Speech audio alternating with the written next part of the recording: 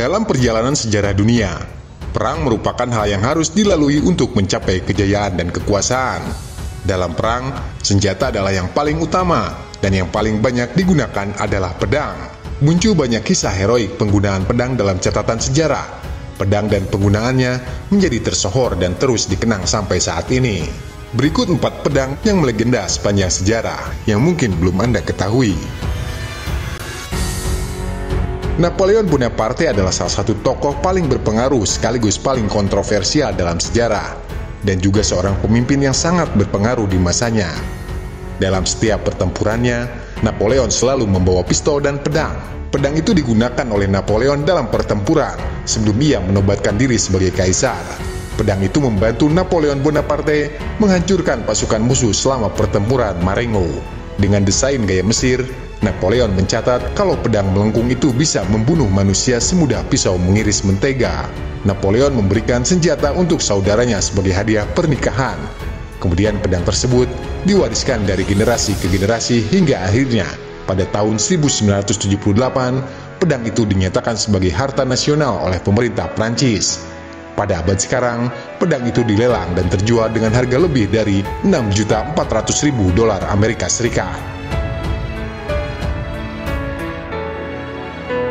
Kisah yang bercerita, siapa pun yang mampu mencabut pedang Excalibur dari batu, maka dia akan menjadi Raja Inggris.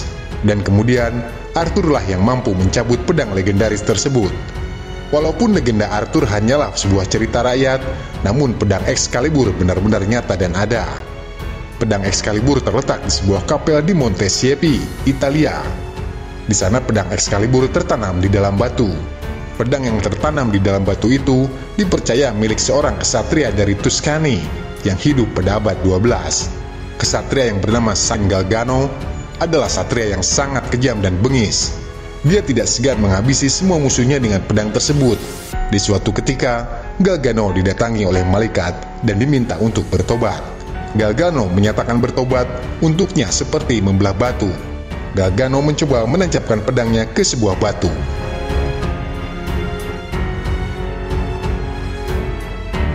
Pedang Kusanagi adalah pedang legendaris dan bagian yang tak terpisahkan dari mitologi Jepang kuno.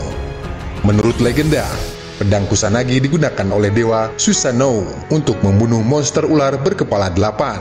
Legenda pedang Kusanagi memang terkesan sulit dipercaya, namun pedang Kusanagi benar-benar ada. Pedang Kusanagi merupakan satu dari tiga harta penting peninggalan kekaisaran Jepang kuno.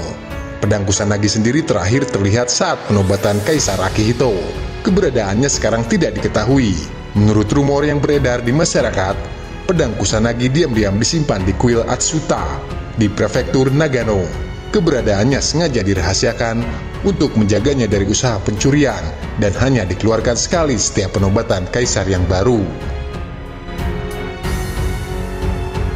William Wallace adalah seorang pahlawan Skotlandia yang paling disegani selama perang kemerdekaan Skotlandia di akhir abad ke-13. William Wallace mempunyai sebuah pedang yang sangat legendaris.